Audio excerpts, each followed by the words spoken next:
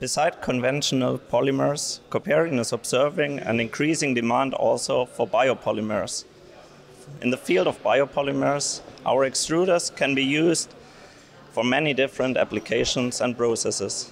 Some of these processes are comparable to conventional polymers like uh, filling, blending, or reinforcing. But there's also another new process in this field of biopolymer which demands for our machinery, and these are the starch blends. So starch blends, such as thermoplastic starch or starch compounds, are demanded more and more by the market. Here we can use our machinery and we gained a lot of knowledge in the last few years.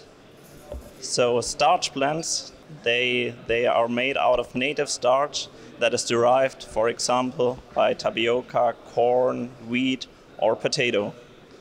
And this challenging process, Coperion has a lot of advantage that he gained a lot of experience in the last few years and also benefits from the experience that uh, we have also from food application where starch is processed in the extruder since many years.